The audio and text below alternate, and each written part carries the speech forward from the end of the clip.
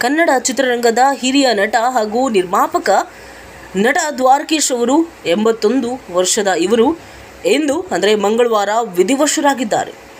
ವಯೋ ಸಹಜ ಕಾಯಿಲೆಯಿಂದ ಬಳಲುತ್ತಿದ್ದ ದ್ವಾರಕೀಶ್ ಅವರು ಇಂದು ಹೃದಯಾಘಾತದಿಂದ ಇಹಲೋಕ ತ್ಯಜಿಸಿದ್ದಾರೆಂದು ಬಲ್ಲ ಮೂಲಗಳಿಂದ ತಿಳಿದು ಬಂದಿದೆ ಆಗಸ್ಟ್ ಹತ್ತೊಂಬತ್ತು ಸಾವಿರದ ಒಂಬೈನೂರ ನಲವತ್ತೆರಡರಂದು ಹುಣಸೂರಿನಲ್ಲಿ ಶಮಾರಾಮ್ ಮತ್ತು ಜಯಮ್ಮನವರಿಗೆ ಜನಿಸಿದ ದ್ವಾರಕೀಶ್ ಅವರು ನಟ ಹಾಗೂ ನಿರ್ದೇಶಕ ಹಾಗೂ ನಿರ್ಮಾಪಕರಾಗಿ ಕೂಡ ಮಿಂಚಿದರು.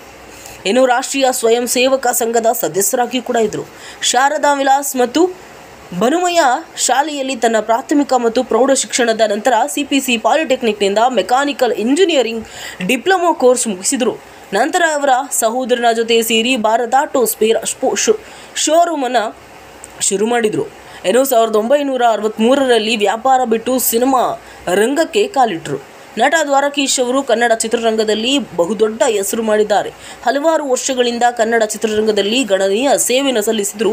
ಅವರನ್ನು ಪರಿಗಣಿಸಿ ಬೆಂಗಳೂರು ವಿಶ್ವವಿದ್ಯಾಲಯ ಗೌರವ ಡಾಕ್ಟರೇಟನ್ನು ನೀಡಿತ್ತು. ನಟರಾಗಿ, ನಿರ್ದೇಶಕರಾಗಿ, ನಿರ್ಮಾಪಕರಾಗಿ ಕೂಡ ಹಲವಾರು ಸಿನಿಮಾಗಳನ್ನು ಕೊಟ್ಟರು ಅವರು ಕನ್ನಡ ಚಿತ್ರರಂಗಕ್ಕೆ ಸೇವೆ ಸಲ್ಲಿಸಿದರು. ಇನ್ನು ಡಾಕ್ಟರ್ ವಿಷ್ಣುವರ್ಧನ್ ಹಾಗೂ ಡಾಕ್ಟರ್ ರಾಜ್ಕುಮಾರ್ ಹಾಗೂ ಅಂಬರೀಷ್ರಂತಹ ಮೇರು ನಟರೊಂದಿಗೆ ಹಿರಿಯ ತೆರೆಯಲ್ಲಿ ಮೆಂಚಿರುವ ನಟ ದ್ವಾರಕೀಶ್ ಅವರು ಇನ್ನಿಲ್ಲ. ನೂರಾರು ಸಿನಿಮಾಗಳಲ್ಲಿ ನಟಿಸಿದ್ದಾರೆ. ಬರೋಬ್ಬರಿ ನಲವತ್ತಕ್ಕೂ ಹೆಚ್ಚು ಸಿನಿಮಾಗಳನ್ನು ನಿರ್ಮಾಣ ಮಾಡಿದ್ದಾರೆ. ಈ ಎಲ್ಲ ಮಾಡಿದ ಕೆಲಸಕ್ಕೆ ಸೈ ಎನಿಸಿಕೊಂಡಿದ್ದಾರೆ. ಏನು ಅವರ ಕನ್ನಡ ಜನತೆಗೆ ಜನಪ್ರಿಯ ಕುಳ್ಳನಾಗಿ ಹೆಸರುವಾಸಿ ಕೂಡ ಆದರು.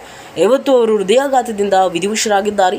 ಅವರ ಆತ್ಮಕ್ಕೂ ಶಾಂತಿ ಸಿಗಲಿ ಅಂತ ನಮ್ಮ ನಂಬರ್ ಒನ್ ನ್ಯೂಸ್ ಟಿವಿಯಿಂದ ಕೇಳೋಣ.